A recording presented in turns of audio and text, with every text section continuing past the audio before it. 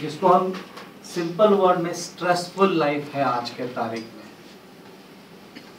Settle होना है, घर लेना है, कमाना है, शादी के लिए पार्टनर ढूंढना है, वगैरह जिसका कोई अंत ही नहीं। बट आइडिया इज़ अंदर से वो कौन है जो बाहर का दुनिया देख रही है? किस तरह से देख रही है? क्या समझ रही है क्या सोच रही है किस तरह सोच रही है किस तरह परख रही है that is very important to understand who is it that is within me that is seeing the world outside and what way is it seeing what is it that it is needing और कितना हद तक चाहिए इसके बारे में भी अपने आप में एक चिंतन होना चाहिए there is a very fine line between something called as necessity and luxury क्या मेरे लिए ये चीज़ ज़रूरी है? आज के तारीख में गैजेट्स इतने आते हैं। Is it that I really need it is it a necessity और is it something that is luxury for and we unnecessarily try to stress all that thing in the world of comparison. उसके पास है तो मेरे पास क्यों? वो अगर ला सकता है, वो अगर यूज़ कर सकता है तो मैं क्या?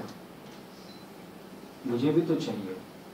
And in this, we always live either in the world of past or in the world of future.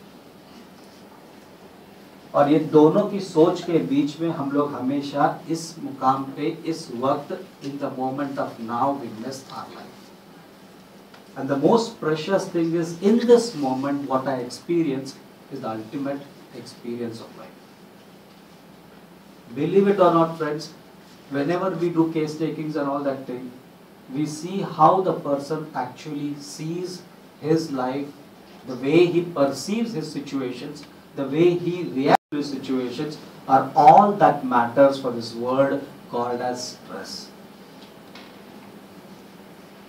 और एज अ डॉक्टर हम लोग बोलते हैं स्ट्रेस मत लो टेंशन काय के लिए लेते हो अरे टेंशन क्या चिड़िया है जो उसको निकाल के बाहर फेंक दे इतना आसानी से तो जाएगा नहीं हमें ये देखना है कि कौन सा चीज़ है जिसके वजह से मैं तनाव में किस तरीके से मेरे को वो चीज़ तनाव लाती है। और उसके वजह से मेरे मन में और मेरे शरीर में क्या अनुभव होता है।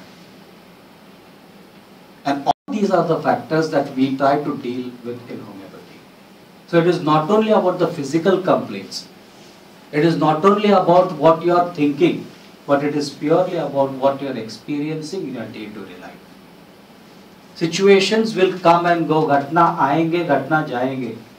हालात आएगी, हालात जाएगी, लेकिन आपका अनुभव जो रहेगा, उसके पीछे वो हमेशा परमानेंट रहेगा। और वो अनुभव है आपकी आत्मा का